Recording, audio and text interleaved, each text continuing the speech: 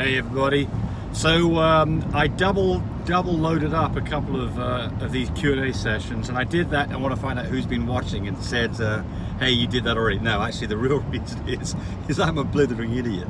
So so if you see one That's where, an understatement. yes, Understatement. Yeah, so if you see one where the beginning you've seen before, number Cuckoo, yeah, cuckoo, cuckoo. number one, let me know, and then I'll take it down. Sorry about that. So here we go. Sorry. What's all that blowing? All the black smoke. Mm, they've got they're doing a frack job. Okay, so here we go. Nicole Price says, "I'm getting my color genetics tested soon." Uh, here's a lilac and tan carries fluffy. I'm not sure why you're getting the color genetics tested soon if you already know the answer, but um, er, here's a lilac and tan carries fluffy, and maybe carries cream and Isabella. So I guess when you say Isabella, is that you think that maybe he also carries testable chocolate. Would a visible chocolate and cream carrying Isabella be a good? You've got some kind of wording here that's a bit mixed up. So, so um, uh, what would they produce? Well, let's just assume that your dog, the, one dog, is a is a Isabella tan bred to an Isabella carrier. The answer is that you'd expect to get Isabellas out of it, blues and chocolates with tan points as well. So I think that's all I'm going to go on that one. Lauren Irby says, never knew about the fluffy Frenches. They are awesome. They are awesome. I love these little dogs. They're such cuddly little things. And they don't shed. At least the ones we have don't shed. We've got one. And their hair is soft as silk. Yeah, Johnny Cash. He looks like a little polar bear, little black Oh, polar no, bear. he reminds me of a chow. He does, doesn't he? He's just- got. I mean, his he's hair's small. his hair's yeah, four or five inches long. yeah. He's he's got a triple, quadruple coat. Yes. Is what I think. Uh, Nikhil Patil says, uh, "Hello, so big fan. Progesterone level test 1.1. Doing cross mating with a street dog. Not sure what that means. What's a street dog? Just a mutt? Yeah, I guess so. Heinz 57. Conceived chances. Well, no different than. Well, first off, you're not going to breed on a 1.1. So you're way early on a 1.1. You're probably uh, five, six days early on a 1.1. Most dogs are at 1.1 about day five or six. Most dogs are bred between day 11 and 13. So you're you're way early on this. But just because it's a street dog, it doesn't matter what dog it is. It can be a Heinz 57 with one leg and a, and a long tail. You're going to get puppies out of it if you get the timing right it's not like you have to breed a Frenchie to a Frenchie. You can breed a Frenchie to, you know, a Doberman Pinscher. You're going to get mutts, but they'll they'll they'll, they'll breed. It's just like Tammy and I breeding an Englishman to a Texan. It works. Uh, Uh, Jeff Morgan, how do you increase your litter size and what determines your litter size, the male or the female? I've done videos on this, I'll touch on it quickly here. So litter size is determined by the female. It's all about the number of eggs that she produces.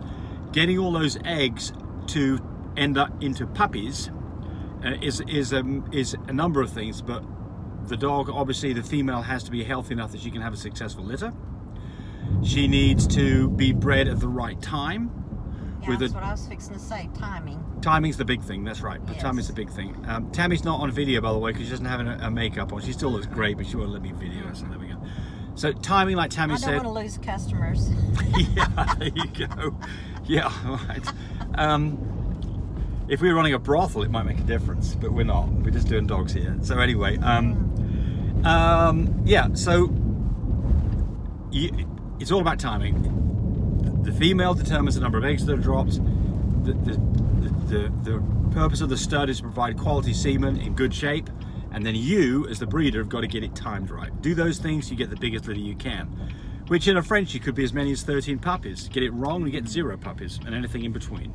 And by the way, that is at 13 puppies is not really what you want, nor is it typical. Oh, Frenchies, my. three to five. Three to five Well- is typical litter. Typical, yeah. Yeah, we averaged actually on our last year's breedings, we averaged 4.7 puppies was the average breeding that we had. Of course, there were some in there that were huge litters, and there's some in there that were no shows too, but that was the average size.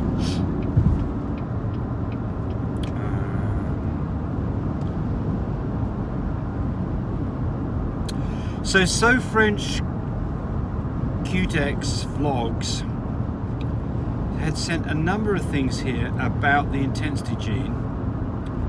Um, and um And I think that she or he or she is onto the right thing here. So I'm just going to read what she says, and I think this is probably correct. She says, so I've, uh, and is a she, so I've heard from several sources that a dog that has cherry tan points or red fawn don't have any copies of intensity. Well, she goes on to say that, in her opinion, she believes that the, it takes two copies of intensity for it to be effective. We talk about the intensity gene, I'm sorry here. So this is something that I don't know much about, and Animal Genetics, who I use, doesn't have a test for intensity. I'm very interested in this because we have a Euro Hero dog that's about to be bred, and I feel that that is probably a dog with two copies of intensity. So, in intensity gene works on creams, and creams come in colors from all the way from red all the way to almost white. And the intensity gene plays a part in how that uh, tan points show up on those dogs and how the cream looks, how how white the cream is. So they, she says here, red fawn dogs don't have any copies of intensity. By the way, Brindle's got to be out of this, otherwise none of this counts. Um, Brindle's dogs don't have copy of intensity. When dogs express lighter tan points, which isn't red, it may have one copy of intensity. And dogs that are very light, almost cream color, and uh, uh, also very likely have two copies of intensity.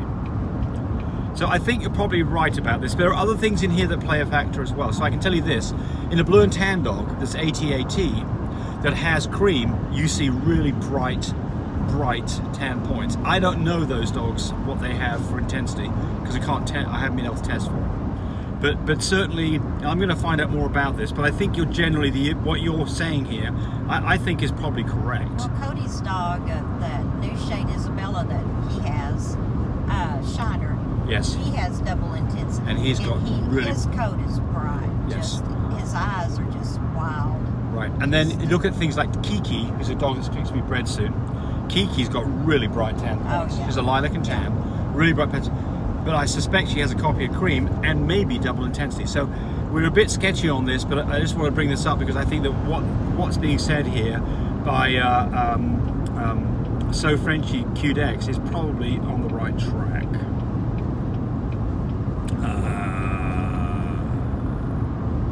C. Johns, good morning. Love your channel. I inseminated my dog at progesterone level of 10 and again at progesterone level of 14. That was eight days ago. Is it normal for her to still be breeding dark red at this point?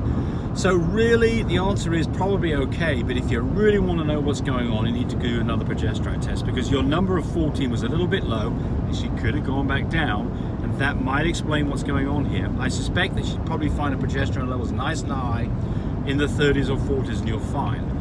But if you want to double check on this, that's what you've got to do. Will a fluffy Frenchie always have fluffy puppies? Only yeah, if it is. yes, I think so.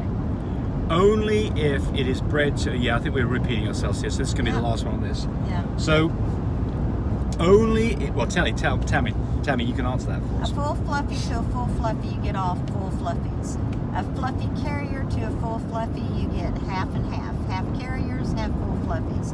If you breed a normal or regular French bulldog, regular coated coat. dog, with a full fluffy, every one of those babies will be uh, fluffy carriers. And? Then you can finish up the rest If you bred a, a, a non-fluffy dog to a fluffy carrier, that's the other one you missed, what, what yeah. do you get? half fluff, half fluffy carriers and half not. So this is why I need to stop doing these videos and Tammy needs to do them more because she knows it all anyway. No. She's right. so there we go. All right. The video. Uh, I really appreciate people who subscribe to me. It helps me encourage me to do more of these videos. But do remember, disclaimer here, I am not a vet. I'm not a licensed medical professional. I'm purely a person who's been breeding dogs for the last couple of decades. Any information that you got from this video, use at your own risk. There's nothing implied here, and certainly this should not be used as a substitute for advice from your veterinarian or your medical professional. I hope you enjoyed the video. Come back for more of them. Bye.